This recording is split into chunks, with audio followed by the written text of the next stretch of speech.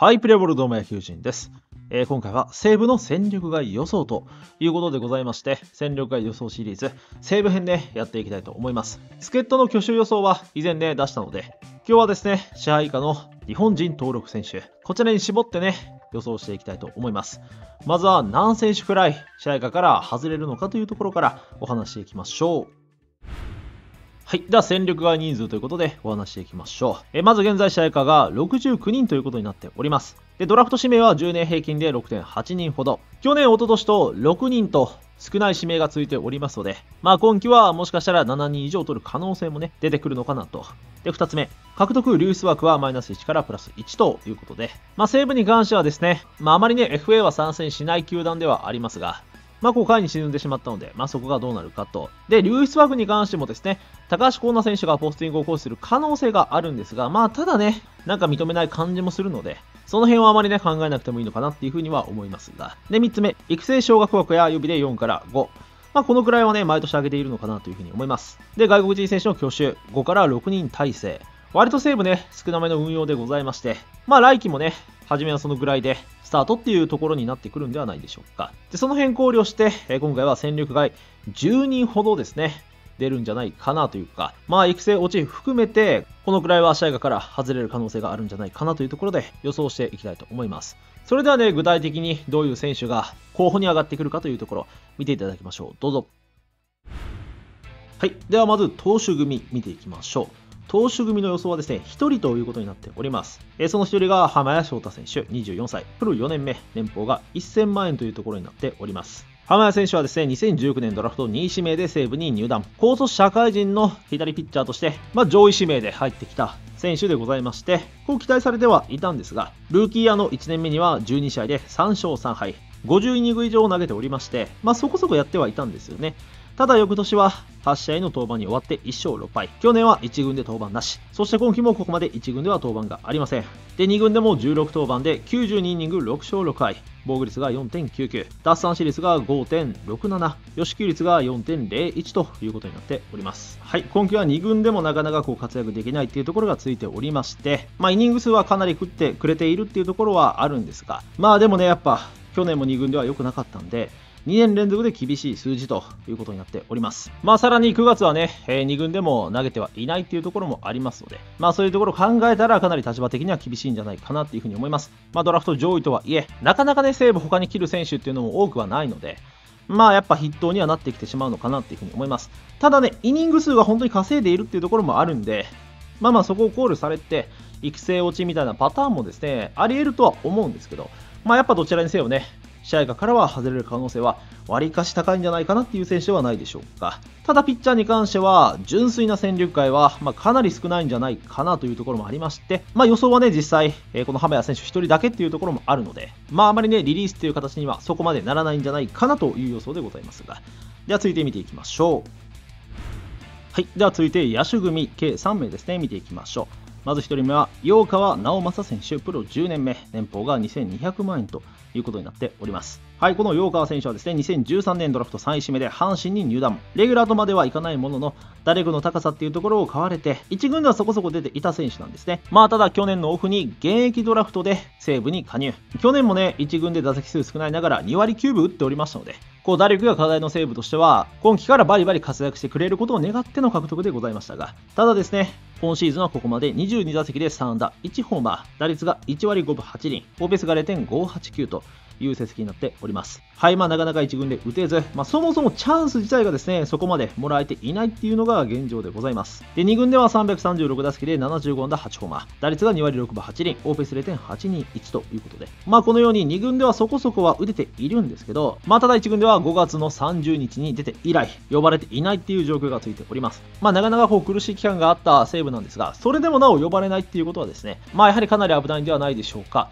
現役ドラフトで入ってきて、いや、もう一年待つんじゃないのっていうところはあるとは思うんですが、ただね、やはり陽川選手に関しては、他のね、現役ドラフトの選手とは違って、年齢っていうのが32歳、来季33歳ということになっております。西武で言うと山川選手と同い年になってくるんですよね。まあ、仮に陽川選手が25、6歳であれば当然もう1年というところではあるんでしょうけど、もう本当にね、即戦力として期待されていた選手で、こう活躍できなければ、まあ現役ドラフト1年目とはいえね、リリースというところも全然考えられるんじゃないかなっていうふうに思います。他の球団でもね、現役ドラフトからリリースっていうのは何人か出るんじゃないかっていうふうには思っておりますが、まあその中の1人になる可能性はね、出てくるんじゃないかなっていうふうには思いますが、はい、続いて2人目は、斉藤正人選手28歳、プロ6年目、年俸が580万円ということになっております。斉藤選手はですね、2017年、育成ドラフト2位指名で西武に入団。2019年6月に試合会になって、まあそこからずっとプレーをしている選手でございますが、まあただですね、なかなかこう1軍に呼ばれることはなく、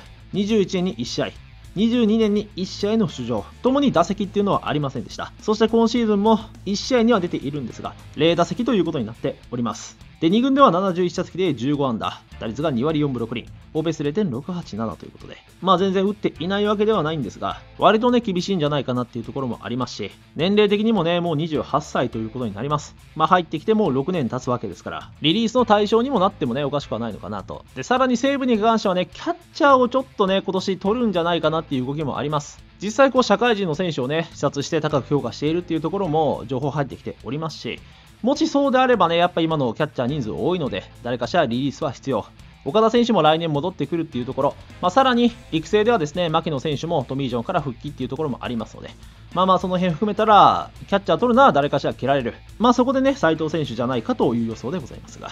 で、野手ね、3人目は、高木渉選手23歳。プロ6年目、年俸が750万円ということになっております。はい、高木選手もね、2017年の育成ドラフト維持指名ですね。斉藤選手と同じ時に入ってきた選手でございます。こう打力が売りの外野手ということでございまして、2018年オフに試合が登録、そこからね、2軍では活躍はできているんですけど、なかなかこう1軍では活躍できず、今季もね、1軍では19打席3安打、打率が1割5分8厘、オーペース0.316ということになっております。で2軍では346打席、76安打6ホーマー、打率2割4分9厘、オーベース0.695という成績になっております。はい、まあ1軍で活躍できず、2軍でもですね、例年 OPS っていうのは、まあ、0.7から0.8以上あったんですが、まあ今年はね、ちょっと苦しんでいるよというところでございます。やっぱ打撃の売りの選手がここまで打てないとなれば、ちょっと厳しいものはあるのかなっていうふうに思いますし、まあ去年ドラ1で蛭間選手が入ってきて、で、他の選手もね、1軍でなんとか結果を残しているっていうところは、ちょっとずつではあるんですが、見えておりますので、まあそうであればね、こう結果を残している、ね、高木選手の立場っていうのは、今季はかなり危ないんじゃないかなっていうところではないでしょうか。はい。というわけで、まあ、野手3人ですね。まあ、共にね、やっぱ他に対等した選手がいるポジションなのかなっていうふうに思いますよね。まあ、ヨーカー選手にしてもね、サードっていうところに挑戦しておりましたが、まあ、ただ渡辺選手がちょっと出てきて、で、佐藤選手もね、割といい感じになってきておりますので、立場的には厳しいと。で、斉藤選手もね、森選手がいなくなってどうなるかっていう中で、もうほぼ1軍に呼ばれず、えー、古賀選手らが率先して出ていると。で、高木選手も先ほど言った通り、やっぱドライチで昼間が入ってきて、まあ、やっぱ今年低迷しているっていうところはあるんですけど、まあ、その中でも活躍できなければね、リリースになってきてもおかしくはないんじゃないかなっていうふうには思いますが。はい。では続いて見ていきましょう。はい。続いては、育成落ち組1ということで、結構ね、えー、今年育成落ちあるんじゃないかという予想でございますので、まずはね、計3名見ていきましょう。1人目は森脇亮介選手、31歳。プロ5年目、年俸4000万円。森脇選手は2018年ドラフト6位指名で西武に入団。大卒社会人の即戦力として期待されておりました。1年目から29試合。まあ、そこから3年連続40試合。西武のリリーフ陣をね、支えてくれている選手でございます。え今季もですね、31登板27.2イニング2勝1敗、12ホールド3セーブ。防御率1.95、奪三振率8.46、女子球率4.88ということで、抜群の安定感というところを誇っておりました。で、2軍では当然ね、登板なしというところではあるんですが、まあ、ただこの森脇選手、右上腕の動脈閉塞症と診断されて、全治未定というところが発表されております。まあちょっとね、ショッキングなニュースだったかなっていうふうには思いますし、まあ、彼がいないことで、かなりね、リリーフ陣に負担というのもいってしまったというところでございます。現状ちょっとまあ全治不明っていうところなんで、どのくらいで戻ってこれるのかっていうのが全然わかんないんですよね。復帰までそこまでかからないとなればね、落とさないんでしょうけど、まあでもやっぱ可能性としては考えておかなければならないのかなっていうふうに思います。で、続いて2人目は佐々木健選手27歳。プロ3年目、年俸が2000万円。2020年ドラフト2位指名で西武に入団。彼もまあ大卒社会人の即戦力として入ってきました。1年目は活躍できなかったんですけど、2年目の昨年は37試合投げて防御率3点台。そして3年目の今季は1軍で21登板、20.2イニング0勝1敗4ホールド。防御率0.87、奪三振率5.66、予祝率3.48ということで、まあしっかりとね、左のリリーバーとして活躍してくれておりました。で、2軍でも11試合で12イニング1勝0敗、防御率0.00ということで、まあ1軍2軍ともにね、打たれてはいないんですけれども、ただ彼もですね、7月末に左肘痛で登録抹消、そしてその後、トミー・ジョン手術を受けたことが発表されました。まあやっぱ西武、左ピッチャーっていうところが少ない中でやりくりしている状況で、まあ、この佐々木選手のトミー・ジョンというのも非常に大きいかなというふうに思いますし、復帰まで割とかかってしまうんじゃないかなっていうところを考えれば、まあ、やはり一度育成に落とす可能性はね、結構高いんじゃないかなっていうところではないでしょうか。そして3人目は赤上優斗選手、プロ3年目。年俸が470万円。赤上選手は2020年、育成ドラフト1位指名で西武に入団。去年ね、試合が登録されましたが、1軍では登板なし。今季もですね、1軍で登板なし。そして2軍でも登板が今現在もない状態ということになっております。まあ、ちょっとね、怪我っていうところがあって、今季なかなかね、えー、投げれていないのかなというところでございます。まあ、3軍ではね、ちょこちょこ投げれているっていう状態らしいんですけど、まあ、ただ、2軍復帰までは至っていないというところになっております。まあ、こう投げたり投げなかったりみたいなところでもありますので、まあ、どういう感じなのかっていうところが不透明ではありますし、まあ、やっぱり育成から上がってきてね、えー、1軍、2軍で投げれていないとなれば、まあ、1回育成に落としてもですね、全然不思議ではないんじゃないかなというふうに思います。まあ、育成を経ずそのままリリースっていうところも考えられるんですけど、1回落とすっていう形になるんではないでしょうか。はい。というわけで、まあ、なので、こう、怪我人をね、積極的に育成落ちにと、まあ、赤上選手はね、そこそこ3軍で投げているっていうところではあるんですけど、えー、森脇選手、佐々木選手らは投げる見込みがないのであれば、手術したら落として、ゆっくりこう復帰させるっていうプランを立てる球団でもありますので、そうなってくるんではないでしょうか。はい。では次が最後ですね、見ていきましょう。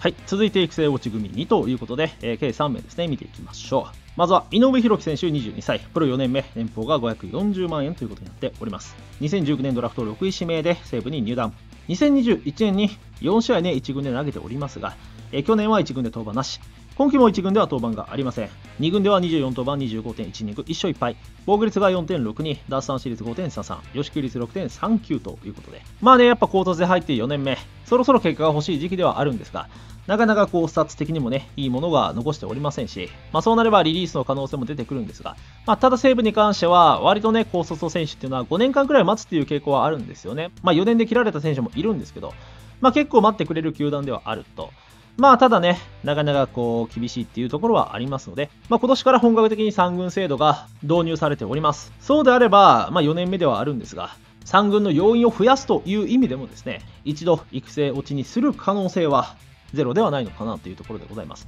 ちょっとね、こう3軍の選手少なくて、試合が中止になるみたいなところもちょこちょこありますし、育成選手をたくさん取ろうにもですね、量がそこまで多くないので、人員確保が難しいよねみたいな話もあるみたいなので、であればね、まあ今いる選手を、育成に落として人員を確保するっていう、ケースがですね、ちょっと出てくる可能性はなきにしもあらずなのかなっていうふうに思います。で、続いてはですね、中熊大地選手27歳。プロ5年目年俸450万円。はい、この中熊選手はですね、2018年育成ドラフト3位指名で西武に入団。去年の4月に試合が登録されました。で、去年はね、1試合だけ1軍で出場。そして今シーズンはですね、1軍では使用がありません。2軍でも7打席1安打、打率が1割4分3厘、フォーペスが0.286ということで、まあ、ほとんどですね、試合に出ておりません。最後に出たのが3月24日のファーブの試合。ちょっとね、こう、怪我があって、手術もありました。で、今復帰して3軍でね、試合に出ているっていうところではあるんですけど、まあ、ほとんどまあ2軍でプレーしているっていうことはないということになっております。まあ、ただ先ほども言った通り、3軍の人員確保っていうところもありますし、キャッチャーを取るっていうところもあるんで、まあ、そうであれば斉藤選手リリース、中熊選手育成に落として、で、まあ、岡田選手の復帰、牧野選手が良ければまあ試合が2っていうね、流れになってくるんじゃないかなというそうでございます。まあ、斉藤選手より中熊選手をね、優先して育成っていうところで言うと、まあ、単純に年俸が低い、えー、年齢、えー、プロ年数が短い、まあ、あとね、怪我明けっていうところで、育成にも落としやすいよねっていうところを合わせれば、まあこんな感じになるんじゃないかなという予想でございます。で、最後はですね、中山聖吾選手、プロ2年目、年俸が700万円。中山選手は2021年ドラフト6位指名で西武に入団。打てるショートとして期待されておりましたが、ただ今季は1軍で出場がありません。2軍でも66打席で、打率が1割6分1厘、オーペスが0.438という成績になっております。はい、この中山選手ね、大卒で入ってきて、ある程度ね、こう、打力っていうところも期待されておりましたが、ちょっとね、かなり苦しんでいるっていうところになります。去年もですね、112打席立って、2軍で1割4分9厘、オーベースは0.488ということで、まあ2年連続打てないっていうのがついております。まあ主に3軍でっていうのがメインになっている中山選手、大卒2年目とはいえ、ここまでね、通用しなければ、なかなかこう、厳しくもあるのかなっていうふうに思います。そうであれば、彼もまたね、3軍の人員として、まあ、育成に落として、ゆっくり育てていくっていうね、方針に切り替わってもおかしくはないんじゃないかなというふうに思います。まあなんで、大卒2年目っていうところではあるんですが、まあ育成落ちなくはないのかなと。はい。というわけで、まあ、育成落ち組に関しては、やはりこう、三軍制を意識した動きに変わってくるのかなと。今までね、西武に関しては、怪我人を育成に落とすっていうところはあったんですけど、まあ、それとは別にね、人員確保で、もうもう今いる選手をしっかりと落として、ある程度試合を成立させるっていうね、動きにもなってくるんじゃないかなっていうふうには思いますし、まあ、それありきの今回は予想ということでございます。まあ、なんでその読みが外れれば、まあ、全然違った結果にはなるのかなっていうふうに思いますが、今回はこういう予想ということでございますが。はい。というわけで以上です。最後ね、年齢分布見て終わりましょう。はい。では、西武戦力外予想一覧ということで見ていきましょう。投手の戦力外は浜谷選手のみ。野手は斎藤誠選手、陽川選手、高木選手。で、育成落ちが森脇選手、佐々木選手、赤上選手、井上選手、中山選手ということで、計ね、10人の予想でございます。まあ何度も言うようにやっぱ3軍制っていうところで、育成落ちがかなり多くなるんじゃないかなという予想でございます。まああとピッチャーに関してはね、久門選手あたりはちょっとね、どうなのっていうところはあるんですが、まあただやっぱ貴重な左っていうところ、佐々木選手も手術。まあ本当リリーフが佐藤選手くらいしかいないっていうことにもなるので、まあやっぱ切りにくいよねっていうところはあります。で、人的補助できた張選手もね、まあもうちょっと見るんじゃないかなっていうところはありますし、であとは内野ですよね。で、内野に関しては結構上がってくるのが山野辺選手ですよね。まあ彼も危ないんじゃないかっていうところはあるんですが、まあただ1軍でずっと出ているという立場でございます。まあ今日もね、外野でスタメンで出ていたりもしておりましたんで、使っていくっていう意思がね、感じられますので、まあ今回は、え特に上げておりません。であとは内野で言うと川野選手あたりもね、結構危ないかなっていうところではありますし、中山選手じゃなく、この川野選手が育成に落ちるケースもね、全然あるんじゃないかなっていうところではあるんですけれど、まあざっくりとしたこういう予想でございましたが、まあ皆さんですね、え、予想あれば、ぜひコメント欄にお書きいただければ嬉しいです。野球人でございました。せのゲームセット。ありがとうございました。